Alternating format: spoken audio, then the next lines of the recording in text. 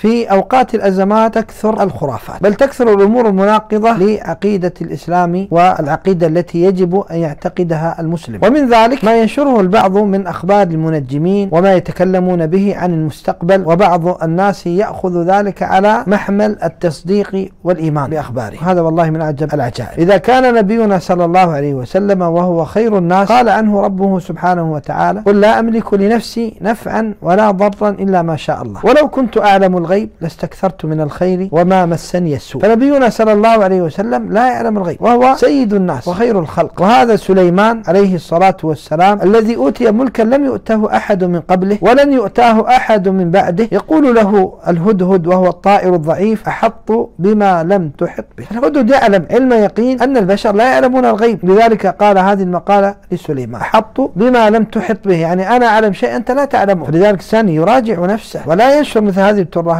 ويصدق مثل هذه الأخبار. فإن علم الغيب اختص به ربنا سبحانه وتعالى. قل لا يعلم من في السماوات والأرض الغيب إلا الله وما يشعرون أيان يبعثون. تستقبل جمعية دار البر زكاة أموالكم وصدقاتكم عن بعد عبر الموقع الإلكتروني دار البر دوت اي اي وعبر التطبيقات الذكية ومن خلال الرسائل النصية وأيضا التحويلات البنكية لحسابات الجمعية. الهاتف المجاني 879 خلك في البيت. لا تشلون هم.